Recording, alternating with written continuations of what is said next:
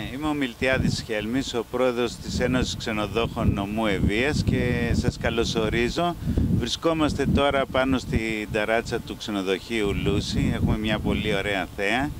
Ε, φέτος έχουμε τη χαρά μέσα σε αυτή την δίνη που ζούμε με το κορονοϊό η Εύβοια να είναι ο τρίτος προορισμός ε, επισκεψιμότητας από Έλληνες και τουρίστες ε, κάνουμε ό,τι μπορούμε. Έχουμε το προνόμιο να είμαστε δίπλα στην Αθήνα. Η Χαλκίδα είναι ένα μέρος που μπορεί να προσφέρει τα πάντα στον επισκέπτη μας από εστιατόρια, παράκια, να κάνει ε, τοπικές εκδρομές εδώ, να πηγαίνει σε διάφορα μέρη της Εύβοιας, σε διάφορα εινοποιία να επισκεφθεί. Ε, όπως επίσης ε, υπάρχουν υπέροχες παραλίες από τη μεριά του Αιγαίου αλλά μπορεί να επισκεφτεί την Εδιψό ή να πάει και στο Νότο, το, την Κάριστο, το Μαρμάρι. Ε, ε, είναι ένα μέρος, μπορεί να μείνει ένας ε, 7 μέρες, 10 μέρες, 15 μέρες και να περάσει υπέροχα.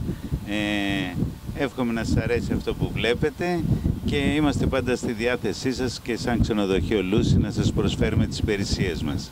Η Εύη είναι ένα ασφαλές μέρος γενικά και η Σκύρος, διότι ε, είχαμε ελάχιστα θύματα έτσι του κορονοϊού. Είναι, δεν έχει μεταδοθεί ο ιός στις περιοχές μας. Ε, ε, κανένα δυο θύματα τα οποία υπήρξαν και γενικά θεωρώ ότι είναι ένα ασφαλές μέρος για τον επισκέπτη μας.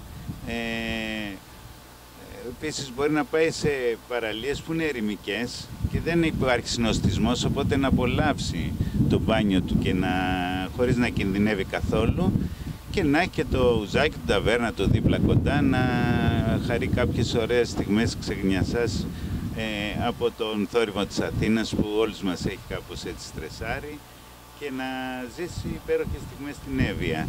Μπορεί να πάει να κάνει επίσης και τουρ, να μείνει δύο-τρεις μέρες στην Καλκίδα, να ανέβει μετά στην Έδιψο άλλες δύο-τρεις μέρες ή να πάει κάτω στο Νότο, στο Μαρμάρι.